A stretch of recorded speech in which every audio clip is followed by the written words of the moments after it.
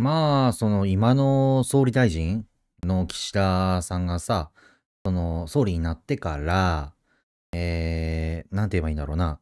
新しい資本主義を掲げて吸ったもんだみたいなことをすごい言うとったけど、ね。えー、それに対してね、じゃあこの1円で一体何が、えー、できるんじゃいっていう話になったんやけどさ、大して何も変わってないんですよね。それ以上にコロナ禍が忙しいから。うん。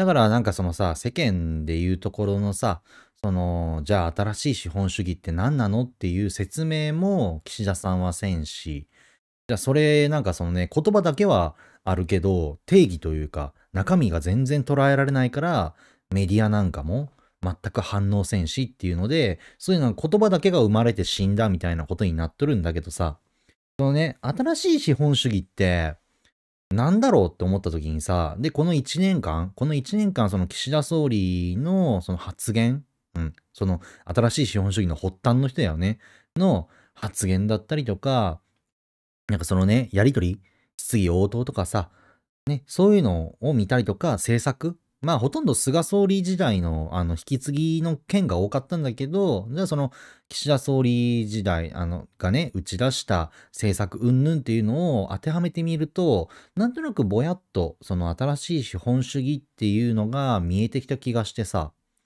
何かっていうと、そのやっぱり、みんなを救おうって話なんだよね。うん。ありていに言えば、みんなからすべからくお金を徴収して、ね、今までなーなーだった部分もしっかり明確化、うん、ね、あの、して、ね、今までなんとなくぼやーっと、だいたいこの人はこのね、おいくら円みたいな感じの税金を徴収しとったのが、細かくね、その、明細とか手続きとか、ちゃんとやらなくちゃいけなくて、特にほら、日本なんて今軽減税率なんてあるせいでさ、その、なんだろう、そこで食べ物を食べていくんだったら消費税10%だけど持ち帰るんだったら8%だよみたいなわけのわからんね、仕組みがあったりするじゃないですか。ああいう計算とかもいろいろなーなーだったんだけど、それをちゃんとせなあかんっていう話にもなってくるわけさ。ね。そこら辺の税収の話だったりとか、そういう仕組みってのも今すごい進んどって、その中でやっぱり根幹にあるのは、やっぱ日本の国として、その国民をすべからく救おうみたいな話なわけさ。聞こえはいいかもしれないけど、これってのはね、あの、やっぱ人それぞれかもしれないですけど、実際、あの、サムネイルに書いてあると思いますが、てか画面に書いてあると思いますが、もう経験しとるんですよ。これ、我々は。この、新しい資本主義って何ぞやっていうのは、一番いい例え話っていうのが目の前にあって、何かっていうと、えーっと、もう去年とか一昨年だったっけ？もうだいぶ経ったよね。あの、給付金です。コロナの。ね。全員10万もらったじゃないですか。まあ一部イデオロギーの関係で返還したやつはいっぱいおったけど、そのね、10万ですよ。10万円の支給。あれみんな受け取ったじゃないですか。そういうことなんですよ。うん。ね。みんなが苦しい時にみんなにすべからくお金を配ろうっていう。ね。貧富の差とか関係ないんですよ。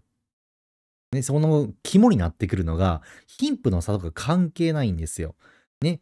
確かに、そのね、このコロナ禍でも、まあ確かにその大変で、ね、収入は減ったかもしれんけど、生活にそこまで影響があるかっていう人もおれば、ね、あの、本当に貧乏に拍車がかかって、ね、母子家庭で辛いとかさ、そういう感じでヒーヒー言っとる家庭もあるわけよ。けど大体の人たちって、まあ苦しいかもしれんけど、毎日ご飯は食べれとるし、みたいな。うん。ね、余ったお金で娯楽もね、あの、いろいろできるし、みたいな。まあコロナ禍でいろいろできんのは確かにあるんだけどね。ね、そういう中間層がいっぱいおる中で、じゃあ、もともとこのコロナの給付金のことを思い出してください。最初、あのー、ね、えー、っと、一家庭ごとにマックス30万だったんですよ。ね。えー、例えば、ね、一人の、一人の家だったら、世帯主が一人だったら10万円、二人だったら20万円、三人だったら、ね、3人以上か。3人、4人、5人、6人ってなっても、その時はね、30万円をマックスにしますよっていうので、えー、予算が組まれ、じゃあやるぞっていう時にみんなどうしました？ね。ひたすら文句言いましたよね。例えば、3人以上家族がいる、ね、やつなんかは、ね、ね、そういう家庭なんかは、いや、本当はね、あの6人おったら60万円もらえたはずなのに、ね、もらえない。ね、30万しかもらえない。私は損だみたいな感じで、ツイッターとかそのネットとかでね、ピーピーピーピー騒いどったじゃないですか。ね、マスコミなんかも連日ね、そういう人たちをピックアップして取り上げとったじゃないですか。なんか損した気分になるみたいなこと、ギャーギャー言うとったじゃないですか。ね。そういう人たちってみんなそうだったでしょあの時って。まあ状況が状況だったからさ。ね。みんなそうだったじゃないですか。じゃあその中でね、本当はね、あのー、あれもさ、ね、本当に貧困の、ね、困窮しとる、ね、何度も持ち出して申し訳ないけど、片片親だったりとかさ、ね、あの生活、仕事がうまくできないっていう人たちに対する補助とかをもっと手厚くできたわけよ。ね。一部の少数派、日本全体で見れば少数派の貧困層を救うために、ね、いろんなあの、制度が、ね、その支援的な制度ができたにもかかわらず、残念ながら、ね、みんながごねたことによって、えっ、ー、と、もともと確か、えっ、ー、と、40兆円くらいだったっけ？なんか、そんなに、あの、お金はかかってない、兆円じゃなかった。40億円とかだったっけ？なんか、その、桁忘れたけど、兆円は違うか。ね。あの、なんか、ね、あの、30やら40億円ぐらいで済め、あの、済んだ話だったんが、その日本、ね、日本の国民全員にやるから、結局100、100手続きとかそういうね、諸経費込みで、なんか、100何十億かかった。ね、倍、倍ぐらい、倍以上かかったみたいなことになってるわけやねんか。ね、それなんですよ。結局のとこ。その新しい資本主義って。うん。ね。だから貧困層を救おうっていう気持ちが、残念ながら日本人にはないわけですよ。やっぱ一番辛い時に本性って出るからさ。じゃあそれを目の当たりにしてさ、ね、じゃあ新しい資本主義っていうのを抱えて、ね、貧困層だろうが中間層だろうがみんなすべからく助けようっていう話なんですよ。ね。まあそれを、それを叶う、その要になるのが税金じゃないですか。なんだかんだ言うてさ。ね、財源があるからこそ、ね、あの、それに対する国が企業とかに対して経済支援ができる。わかりやすいのはガソリンとかですよね。あと小麦。うん。ロシアの関係。コロナ禍というよりは、ロシアとウクライナのね、あの問題の関係で、えー、エネルギー問題だったりとか、あとは小麦があまりにもその高騰しまくると。本当だったら、ね、日本なんて、その輸入に頼りまくっとる。だから、輸入にほぼほぼ依存しとるような国なんだから、ね、毎月のように100円単位で値上がりしてもおかしくないわけですよ。うん。ね。それはね、けど、我々ってリッター170円くらいで生活できとるじゃないですか。半年以上というか1年近く。ね。一時期なんか180円近づいた時あってさ、ビビったけどさ、ね。けど今ってもう160円のね、中高半から下手すら150円台も乗るような日も出てきたし、なんだかんだで170円くらいになってきたじゃないですか。159円とかもあるわけですよ。ね。そんな中で、じゃあ一体それはね、何をしとるかって言ったら、政府が金をね、企業に渡して、ね、支援して、その急な値上がりってのをなんとか抑えてほしい。その分の差額は国が払うからっていうことになってるわけよ。だから小麦に関しても、今年の春の段階で、ね、本当は毎月値上げなあかんっていうレベルなんだけど、その一旦その10月くらいまで待ってくれと。うん。だいたい3月とか4月とかやったっけな ?6 月とかやったっけな？6月やらに一発値上がって、で、その後、本当は7月、8月、どんどんどんどん上げたかったんだけど、企業が、あ、ちょっとその急な値上げっていうのは家計にものすごく影響が与えるから。ね、値上げするのは簡単だけどさ、給料って値上がらんねか？ね、そうでしょ？今の給料を維持するための物価の上昇にもかかわらず、ね、値上がりするけどね、その収入は一定のままなのに支出が増えてく。ね。支出が増えてくっていうのは、やっぱ毎月それは繰り返されると、やっぱみんなパニックになるわけですよ。そういう絡みがあって、ね、あの段階的にすればみんな準備期間があるじゃないですか。ね、今これ電気でやろうとしてますよね。同じようなことを。ね。でそれを考えたときにさ、やっぱり、やっぱりそのね、それに対して、なんかね、あの、ツイッターでさ、ね、この動画を話そう、ね、この話をしようと思ったきっかけだったんだけどさ、ツイッターでさ、なんかわけのわからんしょうもないやつがさ、なんかそのね、一番俺が財務省に対してムカついたのは、コロナ禍において最高税収を記録したことを誇らしげに語っていたことです。かっこドン引きみたいなことを言うとってさ、いやいやいやと。こういう時だからこそ、ね、別にさ、あの、懐に忍ばせるわけじゃないんだからさ、税収がね、いっぱい増えれば増えるほど、その分支援が高まるわけじゃないですか。支援できる幅っていうのが広がる広がるわけじゃないですか。ね。いや、そうでしょ？国が、国とか地方自治体がなんかいろいろやるってなったらさ、もちろん、ね、金が必要なわけですよ。ね、当たり前の話ですけど、それで国葬が吸ったもんだとか言っとくけどさ、ね、その、もっとそういうことじゃないやん。ね、国葬のおかげでさ、ね、なんかそのね、弔問外交なんて言われてさ、海外の人たちといろんな話をしてさ、そこでね、あの、もう事務方レベルでは、その表になってないだけで、裏でめちゃくちゃね、世界中のいろんな国の、いろんなその関係の人たちと、経済的な支援だったりとか、そういうね、あの、防衛だったりとか、そういう面でいろんな協定とか、調印とか、約束みたいなことをいっぱいやってるわけよ。だからそのね、えー、っと、政府の方の、えー、ホームページ行くと、その、弔問外交でこの国とこんな取り決めをしましたよみたいなのがブワーって国葬の後に出たわけよ。それマスコミって報道しないんですよ。都合が悪いから。うん。ね。日本を良くするための話だから。ね。そういう外交があったりとか、公金があるからこそ、ね、エネルギーとかさ、ガソリン代とかもそうやぜ。ね。中東とかとしっかり関係を築いて、なおかつ、ね、なおかつ、に、あの、日本の政府はお金入れとるから我々は安定した価格でね、できるわけですよ。ね。そうでしょ？だって、ガソリンが上がったら別に車乗る人だけがね、その、自分のマイカー持ちだけが苦しむわけじゃないんですよ。ね。だってそうでしょ？えー、自分のね、あなたの近所のコンビニにね、弁当だ、おにぎりだ、飲み物だっていうのを運ぶトラックだってガソリンで動いとるんですよ。ね。じゃあ電車で移動すればいいじゃないかってね。電車にコンテナ積んで、そこでいっぱい物を運べばいいじゃないかっていう声もあるかもしれん。けど、そのね、電車にコンテナを積むフォークリフトだってガソリンで動いとるんですよ。じゃあそれがガソリンがね、5、600円、600円、700円、800円と上がってたらどう思います？ね。普通に、あのね、海外ではね、300円とか当たり前なんですよ。ね。それが170円とかで安定しとる。しかも輸入に頼っとる日本がですよ。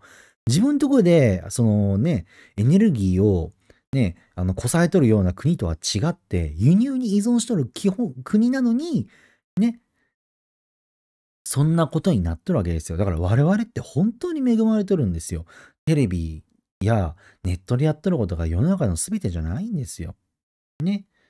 そう考えたときに、そういうため、そういうもののために税金が使われるっていうのは、ね、ある意味プラスじゃないですか。ね。なんて言うんだろう。うーん、そうだな。自分が税金を10万円払って、11万円相当の、その、なんて言うんだろうな、えー、公共的なサービス、道路引いたりとかもそうじゃないですか。ね。で、あの、本来、ね、あの、確かに税金を抑えることによってね、えー、税金5万で良くなったけど、ガソリン代がね、あの、4倍に膨れ上がりました。電気代が5倍になりました。ね、あの、コンビニの弁当が600円で買えたものが1500円になりましたって言ってもさ、さっき言ったガソリンと一緒ね。結局そのガソリン代を上乗せせなあかんからさ、弁当代とかにさ、そういうことになるわけやねんか。だったら意味ないわけですよ。ね。家計簿をつける、家計簿をつけるとね、意味がないわけですよ。正直なとこ。だからそこら辺、多分新しい資本主義っていうのは、そういうことなんじゃないかなっていう。うん。だから、ピンからキリまで、すべからく税金を徴収して、それをみんなのために使おうっていう。うん、ね。だ保険みたいなもんですよ。ね。あのー、車の保険なんかがわかりやすいんですけど、頻繁に事故るやつだろうが、全く事故せんやつだろうが、やっぱ保険料っていうのは、まあ、もちろんそのね、あの、グレードがあって、ね、事故しなければしないほど保険料って安くなるんですけど、それでもお金を徴収するわけですよ。ね。そそれがみんなで積もりに積もって、誰かが事故したら、その積もりに積もった、その貯金から、えー、支援するっていう、みんなで助かろうっていう。ね。あなたが事故った時には私の保険を使ってみんなから徴収したお金で車直しますから、じゃああなたが事故、ね、誰かが事故った時にあなたの保険料が出しますよみたいな話になってくるわけじゃないですか。積み立てじゃないから。ね、そういうことなんですよ。それが今起こっとるんですよ。日本という国でね。うん。じゃあそれに対して否定的な意見って出せないんですよ。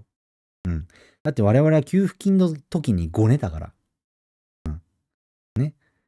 だってね、本当だったら、ね、貧困層を救えみたいな大義名分でね、あの、ごねるやつはいっぱい出てくると思う。これからもいっぱい出てくると思う。けど我々は給付金をもらっちゃったんですよ。10万円。1人10万もらっちゃったんですよ。うん。そして都合よく意見を変えるんですか？それこそ、ふざけとるよね。うん。だから言えないんですよ。反論できないんですよ。もうここまで来てしまったら。本当はあの時にやるべきだったんだけど、あの時誰も考えてなかったよね、そんなこと。だからもう後戻りはできないんですよ、我々は。うん。そうだよね。日本人ってさ、親がね、俺もね、今までこうやってわーって言ったように、本当に恵まれてる国なんですよ。ね。ある程度、そのね、明日ご飯、明日食べるご飯を気にせなきゃあかん。明日生きる命を気にせなあかんっていう国と違って、まあ、一日中ボケっとしとっても、明日ご飯食べれるじゃないですか、我々って。ね。一日中寝て過ごしたみたいな休日なんてないんですよ。切羽詰まっとる国では。うん。ね。そういう心にゆとりがある。そんな中で自分でね、じゃあコロナ禍になって給料上がった人ってどれだけいます？横ばいの人ばっかですよね。ちょっと下がったくらいじゃないですか。ね、まあ時給とかは結構上がり続けとるからさ、ね、そういう意味では上がっとる人だっておるわけですよ。ね、その中で向上心がない。日本人っていうのは、とにかく向上心がない。そして他人の不幸を、ね、あの、願う。自分に恩恵がないんだったら、どんだけ苦しんでる人がおろうが関係ないと。そいつらを押しのけて、自分がね、少しでも旨味をね、吸ったろうっていう癒しい人種なわけですよ。我々日本人っていうのは。ね。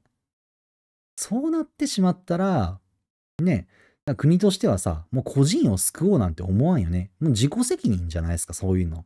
ね。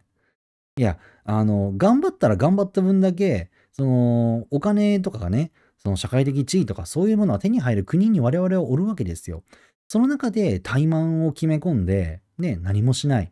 けど苦しくなったら支援してくれってそんな都合のいい話ないじゃないですか。ね。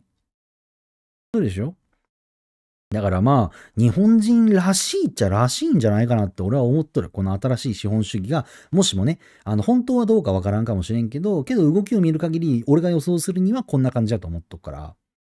だからもうちゃんとね、あの、自分で行動せん限り、ね、あの、しとらん人間からどんどんどんどん下へ下へと落ちていくだけなんだなっていう。うん。ね。でも本当にね、あでもそれでも文句だけは言うからさ、余裕があるから、文句言うだけの余裕があるから、本当にね、余裕がない人って文句を言う時間もないから、ね、もう身を粉にして必死に働かんと明日ご飯食べれるかわからんから、ね、明日電気がつくかわからんから、うん、明日携帯がつながるかわからんから、そういうもんなんだよね。だからそう考えた時にさ、なんかいろいろ思ったよね。うん。じゃあ、そのね、新しい資本主義っていうのが、えー、これからどうなるか、ね、それが実現したとしてどうなるかっていうのは、残念ながら、俺には答えが出せない。そこまで経済に対して学があるわけじゃないからさ。だから逆に聞きたいんだよね。そういう経済に対して、イデオロギー関係なく、その、やる人たち。ね、イデオロギー関係なく経済というのを研究しとったりする人たちの専門的な話ってちょっと聞いてみたいなってちょっと思ったりするんだけどさ、まあこんなチャンネルのこんな動画に集まるかどうかはわかりませんが、もしもね、その人の目に届いたら、耳に届いたら、ちょっとコメント欄に書いていただけたらちょっと面白いなと思っております。はい、そんな感じで以上。